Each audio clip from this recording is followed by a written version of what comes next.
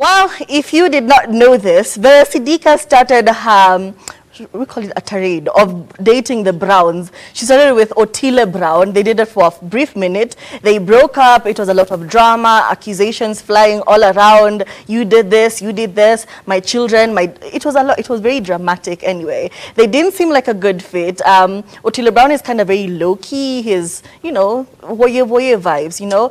And then fast forward, she dated another Tanzanian guy and then dated the second Brown. And they had two beautiful children together. But recently, the Brown, the second Brown was like, ah, this is too much for me. For a long time, he had been on the internet, always posting quotes. You could see he was going through it in that relationship. As in, you can always see the person going through it. The person who is the person who is not leaving the relationship, but always posting something on the internet. It's always a motivational quote. It's always a Bible verse. And for the longest time, that was Brown Mauzo's thing. Anyway, they did end the relationship. And as soon as they did, my girl was on a flight. She was perambulating, globe-trotting, doing the best, living her best life. And today, she soft-launched a new guy who's, co who's called G Brown.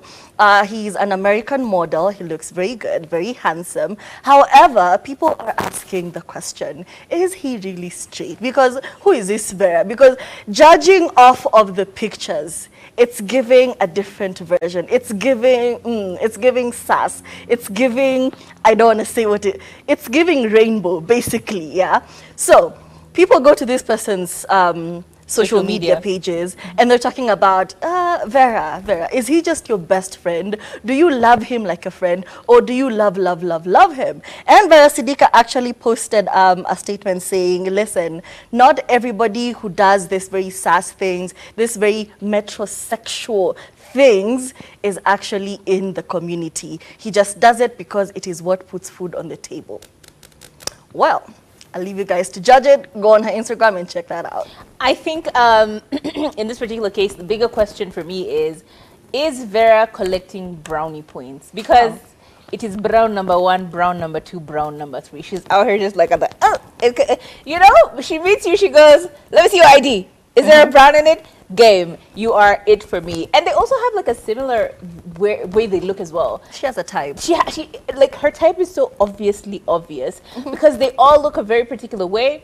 And uh, apparently the name is also a thing for her. Either way, I am super excited for her. And she seems to be happy. I think we also may have um, jumped gun by saying that simply because they said to each other that they love each other on social media, that that is automatically it. How many times do you call your friends and you tell them, I love you, I love you too? Like, these are your friends. You can uh, tell. I don't do that. I come okay. from an African household. We don't express love Terrific. with words, okay? I, I, love that for you. That's, that's not for me. I think for me, most of my friends, when the phone call ends, I, I, think you're the only person who actually, because you don't seem to be into it. Yeah. So I kind of just let it go. Mm. But yeah, every other person who I talk to, Aurelia, Akina, all the Habibtis, whenever the, the phone call is ending, it's like, love you, love you too, bye, end of conversation. So. I think it became a thing of, them just posting I love you, I love you to something, something, something. It was mm -hmm. she. I mean, he posted I love you. Uh, no, he, she posted I love you and tagged him and I think he said it back and then in the comment section there was a lot of like you know lovey-dovey exchanges mm -hmm. but it seemed like a genuine just platonic friendship yeah? Where it's your friend and he's like Yaz it's a Yaz queen doing his Yaz thing so why are we like stopping the reggae? Can we all just leave them alone? But yeah for sure for sure. Mm -hmm. eh, that is a spectrum right there. But we Putting are food on the table or not is, mm-hmm. is, I don't know. He seems to be a very distinct person.